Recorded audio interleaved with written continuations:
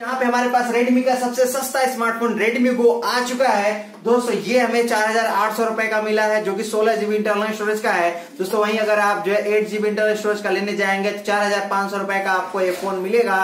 तो दोस्तों, इस वीडियो के अंत तक देखते रहिए। इस वीडियो की हम अनबॉक्सिंग करने वाले हैं। इस वीडियो में इस फ़ोन की अनबॉक्सिंग करने वाले हैं और साथ साथ दोस्तों बताने वाले हैं कि ये फ़ोन आपके लिए कितना बेटर रहेगा। अगर आपके पास बजट कम है तो इस फ़ोन को आपको लेना चाहिए कि नहीं लेना चाहिए। इस फ़ोन की कैसी परफॉर्मेंस है, इस फ़ोन कैसे चलेगा और सारी जानकारी आपको इस वीडियो में मिलने वाली है। तो नमस्कार दोस्तों, मेरा नाम चंद्रप्रकाश सैगल और आप लोग देख रहे हैं टेक्निकल सैगल तो शुरू करते हैं। टेक्नोलॉजी से जुड़ी हर एक जानकारी पाएँ सच्चाई के साथ। सब्सक्राइब करें टेक्निकल साइकिल चैनल को और इस घंटे को दबाएँ, ये बिल्कुल फ्री है। तो जैसा कि दोस्तों, ये हमें अभी मिला है और इसे हमने ओपन कर लिया है। तो ये हमने चार्जर निकाल लिया है। जी हाँ ये चार्जर निकाल लिया है और ये चार्जर निकाल लिया जो कि आप जानते हैं शॉमी के फ़ोन में चार्जर मिलता है, जिसे हम अलग कर देते हैं। दोस्तों वीडियो में आगे बढ़ने से पहले हम आपको बता दें कि हमारे पास एक लैपटॉप है जो कि एसर का लैपटॉप है और ये बीस हज़ार के रेंज का लैपटॉप है। और दोस्तों, अगर आप एक स्टूडेंट हैं या फिर अगर आपके पास बजट कम है तो आपको क्या इस तरह के लैपटॉप को लेना चाहिए? आने वाले वीडियोज़ में आपको बताएँगे। तो आने वाले वीडियोज़ में देखिएगा, हम एशर के पूरी अनबॉक्सिंग आपको बताने वाले हैं। और बताने वाले हैं कि अगर आपके पास बजट कम है तो ये आपके पास लैपटॉप लेना चाहिए। दोस्तों, ये आपको डीडीआर फोर के रैम के साथ आता है फोर जीबी रैम के साथ। जी हाँ four GB DDR four RAM के साथ आता है। तो दोस्तों, आने वाले वीडियो में ज़रूर देखिएगा, शायद कल वीडियो आ जाए। तो दोस्तों, हम बात करते हैं रेडमी के इस फ़ोन की। तो दोस्तों, देख सकते हैं कितना बेहतरीन है। यहाँ पे दोस्तों, इसकी सारी जानकारी दी हुई है वन जीबी रैम सोलह जीबी इंटरनल स्टोरेज जो कि यहाँ पे लिखा हुआ है।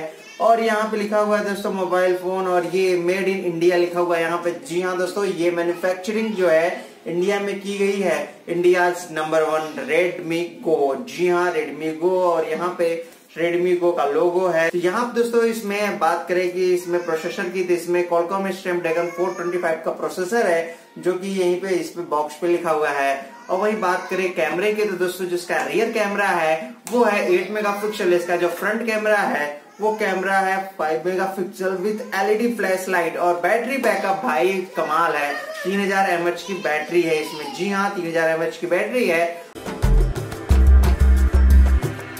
फाइव इंच का एचडी डिस्प्ले है। जी हाँ HD डिस्प्ले दिया गया है। और यहाँ पे दोस्तों बैक साइड बताया गया है कि किस तरह से यहाँ पे सिम लगाए जाएँगे। और यहाँ पे सिम स्लॉट दिए गए हैं कि आप जो है दो सिम कार्ड और लगा सकते हैं। इसमें आसानी से दोस्तों, यहाँ पे दो दो स्लॉट दिए गए हैं। यानी कि इसमें दोस्तों सिम कार्ड दो सिम कार्ड लग जाएगा और एक एसडी कार्ड लग जाएगा। तो काफ़ी अच्छा तीन चीज़ इसमें काम करेगा।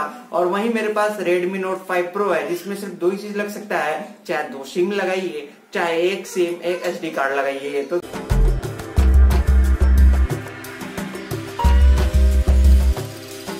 मेरे हिसाब से दोस्तों अभी मैंने कुछ समय इसको इस्तेमाल किया है। इसकी परफॉर्मेंस काफ़ी अच्छी है। अगर आपके पास आ, कम बजट है तो आप जो है इस फ़ोन को बाई कर सकते हैं।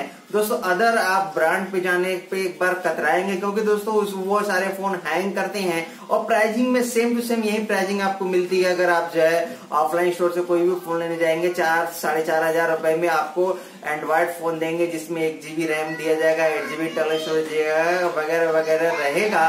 लेकिन दोस्तों, उसे आप जो है पाँच छह महीने इस्तेमाल करेंगे देन वो आपको हैंग की प्रॉब्लम देने लगेगा। और जहाँ तक मैं स्वामी रेडमी का इस्तेमाल किया हूँ रेडमी नोट फाइव प्रो का परमानेंट यूज़र हूँ, अभी इसी से वीडियो शूट किया जा रहा है। मुझे हैंग की कहीं भी, कहीं बात आई ही नहीं है मेरे फ़ोन में।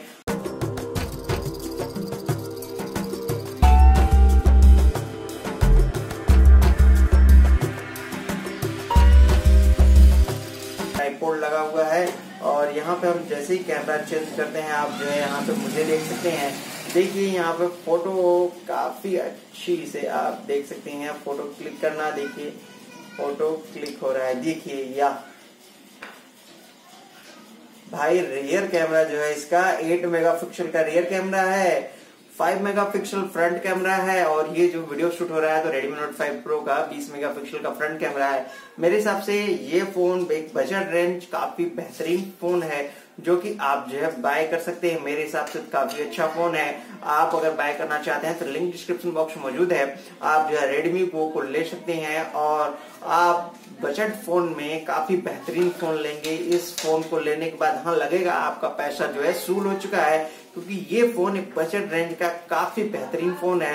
दोस्तों, अगर आप अदर ब्रांड का सेम रेंज का फ़ोन लेने जाएँगे तो सेम प्राइस सेम स्पेसिफिकेशन सारा कुछ सेम मिलेगा। लेकिन परफॉर्मेंस की बात करें तो किसी में बैटरी बैकअप आपको कम मिलेगा, किसी का आपका चार्जिंग स्पीड कम मिलेगा, किसी में अपडेट जो होते हैं अपडेट वो कम आएँगे। लेकिन इसमें जो अपडेट की बात करते हैं तो इसमें समय समय पे अपडेट भी आपको मिलते रहेंगे। जी हाँ समय समय पे आपको अपडेट भी मिलते रहेंगे।